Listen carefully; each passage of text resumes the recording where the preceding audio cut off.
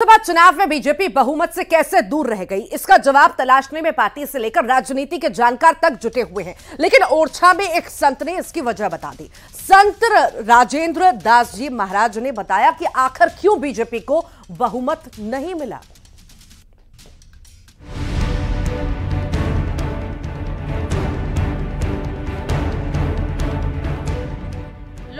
चुनाव में 400 पार का नारा देने वाली बीजेपी 240 सीटों पर सिमट गई, अपने दम पर बहुमत से दूर रह गई। वजह क्या रही? इस पर मंथन का दौर जारी है। लेकिन राजनीतिक जानकारों से पहले संत राजेंद्र दास जी महाराज ने बता दिया है कि बीजेपी को बहुमत क्यों नहीं मिली। संत राजेंद्र दास जी महाराज का दावा हैरान करने वाला है। उन्होंने कहा कि ओरछा के राम राजा सरकार ने नरेंद्र मोदी को प्रधानमंत्री बनाया। लेकिन वो राम राजा सरकार के दर्शन करने नहीं आए। और यही वजह है कि इस बार उन्हें बहुमत नहीं मिली। आप भी सुनिए संत राजेंद्र दास जी महाराज ने क्या कहा। उसी के परिणाम से अच्छी सरकार आई। बहुमत से आई। और उस समय भी ये बात कही गई थी कि वो, जो हम लोगों का संकल्प है वो पूरा हो तो प्रधानमंत्री रामराजा सरकार का दर्शन करें। लेकिन नहीं अब तक हो पाया। उसका परिणाम भी सामने आ गया। मोदी बहुमत से दूर क्यों हुए?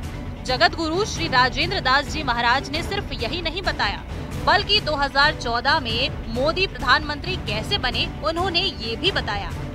ओरछा में चल रही भक्तमाला कथा के दौरान राजेंद्र दास जी महाराज ने कहा कि देश को अच्छी सरकार मिले इसके लिए 2014 के पहले ओरछा धाम में 18 करोड़ बार श्री राम जय राम, जय जय राम का जप किया गया था, जिसके बाद पूर्ण बहुमत से सरकार बनी। उस वक्त ये बात कही गई थी कि संकल्प पूरा होने पर प्रधानमंत्री नरेंद्र मोदी राम राजा सरकार के दर्शन करें, लेकिन उन्होंने ऐसा नहीं किया, जिसकी वजह से इस बार पूर्ण बहुमत नहीं मिल सकी। देखो, एक बात हम प्रसंगवश बता रहे हैं। इसी ओरछा धाम में 2014 के पहले 18 करोड़ श्री राम जय राम जय जय राम का जप सविधि हुआ था। उसी के परिणाम से अच्छी सरकार आई। बहुमत से आई। और उस समय भी ये बात कही गई थी कि वो जो हम लोगों का संकल्प है वो पूरा हो तो प्रधानमंत्री रामराजा सरकार का दर्शन करें। लेकिन नहीं अब तक हो पाया। उसका परिणाम भी सामने आ गया। जगत गुरु श्री राजेंद्र दास जी महाराज ने कहा कि जो कसर रह गई है वो पूरी हो सकती है। अगर प्रधानमंत्री ओरछा आकर श्री राम राजा सरकार को दंडवत करें। कि चलो कोई बात नहीं।